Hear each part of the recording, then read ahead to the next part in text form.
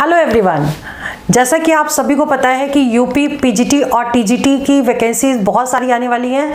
तो इस वैकेंसी को फिल करने के लिए आपको क्या क्या क्राइटेरिया और किस पैटर्न में प्रिपरेशन करनी है क्या क्या सिलेबस है।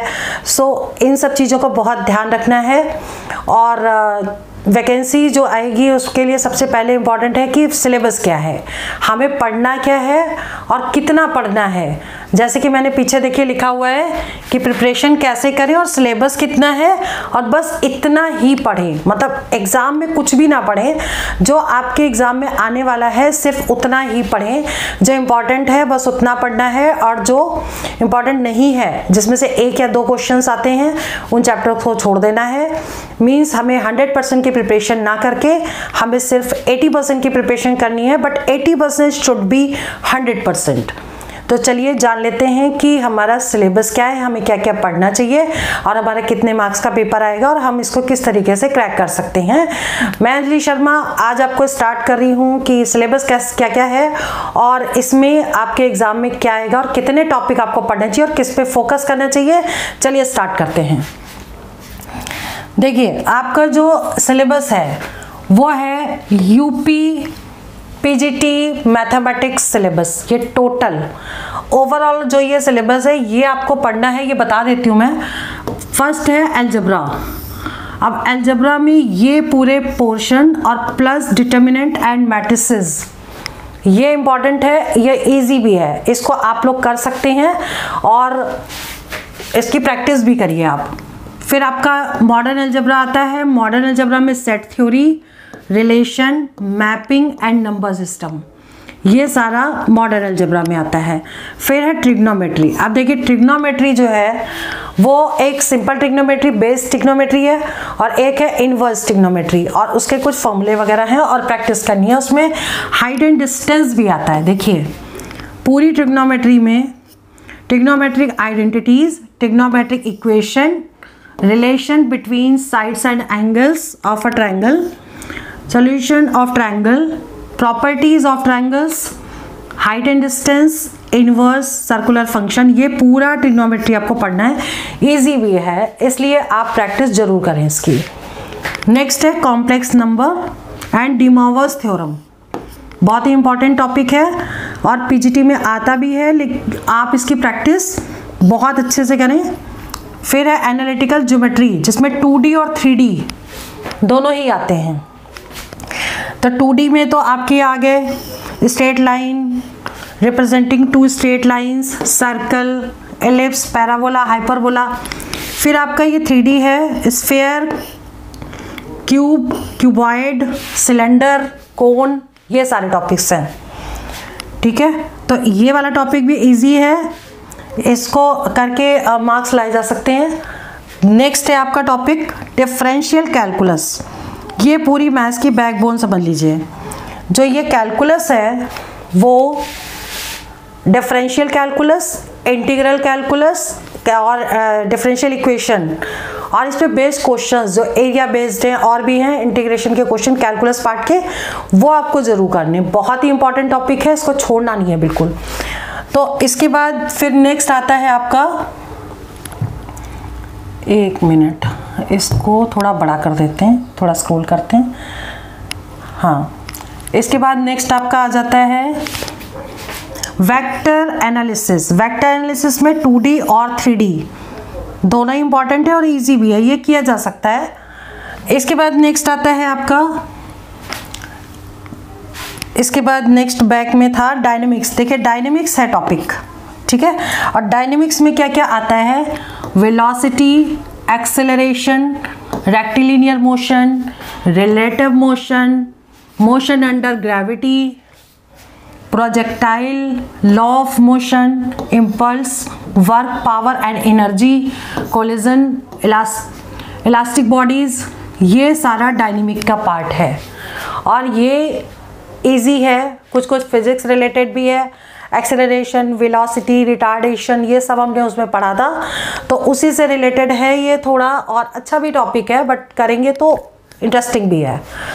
नेक्स्ट है हमारा स्टैटिक्स अभी स्टैट्स में जो भी आता है, वो क्या है? Composition and resolution of two forces, equilibrium of three forces, acting on a particle फिर equilibrium of more than three forces acting on a particle यहाँ पे टू फोर्सेज था, यहाँ पे three forces parallel forces moment moments and equilibrium और centre of gravity और friction ये भी कुछ कुछ पार्ट देखिए कुछ पार्ट फिजिक्स का भी इसमें इंक्लूड है। तो ये स्टैट्स पार्ट है, इसको ज़रूर करना है, ये बहुत ही इंपॉर्टेंट है। ये स्टैटिक है, वो डायनेमिक था, और ये जो टॉपिक्स हैं, ये बहुत ही इंपॉर्टेंट है। तो आप इसको ज़रूर करिए। इसके बाद जो नेक्स्ट आता है इंपॉर्टेंट थ्योरम्स जो थ्योरम्स हैं थ्योरम्स मैं आपको नेक्स्ट वीडियो में बताऊँगी कि कौन कौन सी थ्योरम इंपॉर्टेंट है और किसके लिए आपको ज़्यादा फोकस करना है। और थ्योरम्स देखिए डायरेक्ट कभी स्टेट एंड प्रूव आ जाता है कि स्टेटमेंट आ जाएगी और उससे पूछ लेंगे कौन सी थ्योरम है। तो ऐसे क्वेश्चन भी आ सकते हैं, या फिर आएगा आपका कि कोई भी थ्योरम है, उससे रिलेटेड एप्लीकेशन क्वेश्चन आ सकते हैं, जिसका एप्लीकेशन उसमें अप्लाई होता है। ठीक है? तो थ्योरम से रिलेटेड हो सकते हैं, जैसे कॉची इंटीग्रल थ्योरम के बहुत सारे क्वेश्चन बनते हैं। वो आपको नेक्स्ट वीडियो में बताएँगे कि थ्योरम्स कौन कौन सी हैं और उससे रिलेटेड एग्जाम्पल्स आप कौन से आ सकते हैं जो बहुत ही कम टाइम में सॉल्व हो जाते हैं शॉर्टकट मेथड से सॉल्व हो जाते हैं, अगर आपको कुछ पॉइंट अगर याद है तो। देखिए नेक्स्ट है इंपॉर्टेंट थ्योरम नेक्स्ट वीडियो में हो जाएगी, फिर इंपॉर्टेंट क्वेश्चंस इंपॉर्टेंट क्वेश्चंस की हमने कुछ लिस्ट बनाई है। हर टॉपिक के करीब दो सौ क्वेश्चन तीन सौ क्वेश्चन ढाई सौ क्वेश्चन ऐसे हर इंपॉर्टेंट टॉपिक के ऑब्जेक्टिव टाइप हमने तैयार किए हैं। तो वो ऑब्जेक्टिव टाइप के वीडियोस आप हमारी सक्सेस मंत्रा एकेडमी के ऐप में जा कर के वहाँ से ले सकते हैं। जितने भी आपको कोर्स वगैरह चाहिए, वो सारा उसी में पड़ा हुआ है। आप पूरा देख लीजिएगा।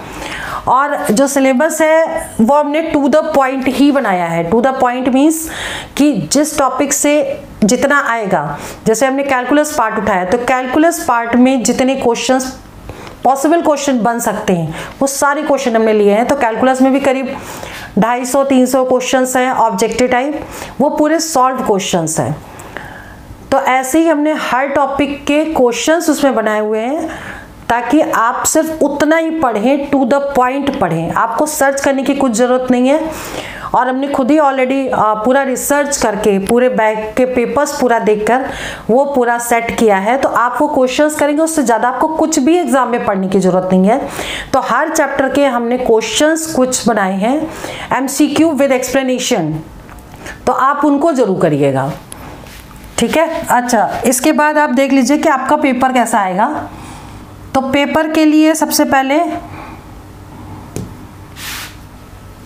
कि आपका जो पेपर होगा वो ऑब्जेक्टिव टाइप होगा। Objective type paper means options MCQs होंगे, उसमें टिक करना है। सेकंड है कि 125 क्वेश्चंस आपके एग्ज़ाम में आएँगे। और थर्ड है फोर मार्क का एक क्वेश्चन होगा और 500 टोटल मार्क्स का क्वेश्चन होगा। लेकिन यहाँ 465 शिक्षा मित्र के लिए है। जो टोटल पेपर 500 का बाकी सबके लिए है शिक्षा मित्र वालों के लिए 465 है। अब शिक्षा मित्र क्या होता है? शिक्षा मित्र है कि 2001 में सर्व शिक्षा अभियान को के को बढ़ाने के लिए राज्य सरकारों ने आ, कुछ टीचर्स नियुक्त किए थे। ताकि बच्चों की पढ़ाई ना रुके और वो आगे बढ़ते रहें। तो बेसिक शिक्षा के लिए ये टीचर्स नियुक्त किए गए थे और उन टीचर्स को शिक्षा मित्र कहते हैं। तो हर राज्य की सरकारों ने शिक्षा मित्र रखे हुए हैं। उनके लिए जो एग्ज़ाम है, वो 465 मार्क्स का होगा। लेकिन अभी भी इस पर कुछ डिस्कशन चल रहा है कि शायद आगे आने वाले टाइम में शिक्षा मित्रों की भी जो टोटल मार्क्स ये वाले होंगे पेपर वो 500 का ही होने वाला है। बट इसमें डिस्कशन चल रहा है। मे बी कि उनका पेपर 465 मार्क्स का हो या फिर 500 मार्क्स का हो सकता है। बट सभी के लिए तो 500 मार्क्स का है ही पेपर ये। ठीक है? तो आपको अपने सिलेक्शन के लिए क्या करना है? सबसे पहले आपको टू द पॉइंट अपना सिलेबस देखना है। उसके अकॉर्डिंग जो जो पार्ट्स आपके, आपको आते थे इजी थे, आपको समझ में आते थे, उनको पिक करना है। और उनमें से चैप्टर्स के रिवीजन करने हैं क्वेश्चंस ए टू जेड पूरे कर लेने हैं। और उसमें से आप 80 परसेंट कर लीजिए और 20 परसेंट में जो आपके चैप्टर वीक थे, आप उनको छोड़ सकते हैं। तो इस मेथड से अगर आप प्रैक्टिस करेंगे और प्रिपरेशन करेंगे तो आपका सिलेक्शन आराम से हो जाएगा इजीली हो जाएगा। और हमने आपके लिए objective type questions chapter wise और प्लस जैसे पेपर में आए हुए क्वेश्चन पेपर और जो आगे आने वाले एग्ज़ाम्स हैं, उनके सबके लिए हमने आपके लिए असाइनमेंट और क्वेश्चन पेपर तैयार किए हैं जो हमारी सक्सेस मंत्रा अकेडमी की ऐप में पड़े हुए हैं। तो आप उस ऐप को डाउनलोड करके सीधा आप वो क्वेश्चन पेपर की प्रैक्टिस कर सकते हैं कि अगर आपने यूपी का पेपर अप्लाई किया है तो यूपी पीजीटी पोस्ट के आप पेपर्स निकालिए और मैथ्स की प्रैक्टिस करना स्टार्ट कर दीजिए। या आपने किसी भी पोस्ट के लिए अप्लाई किया है तो सभी के लिए आप ये काम कर सकते हैं। तो आप प्रैक्टिस करिए, ये बहुत इंपॉर्टेंट है, पढ़ना ही सफिशियंट नहीं है कोर्स कंप्लीट हो गया, आपने सारे टाइप के क्वेश्चन कर लिए बट प्रैक्टिस इसलिए ज़रूरी है कि विद इन टाइम आपको वो क्वेश्चन सॉल्व करने हैं। तो वो क्वेश्चन आप तभी सॉल्व करते, कर सकते हैं, जब आप उनकी बहुत सारी प्रैक्टिस करें। पहले चैप्टर वाइज प्रैक्टिस कर लें, फिर आप क्वेश्चन पेपर की पूरी पूरी प्रैक्टिस करें। टाइमर लगा हुआ है, उसमें पूरा पेपर की प्रैक्टिस आप आराम से इजीली कर सकते हैं। सो so फ्रेंड्स आज की वीडियो में इतना सफिशियंट है। बाकी थ्योरम्स के बारे में नेक्स्ट वीडियो में बताएँगे। सो so, आपके लिए all the best all the best for your selection for exams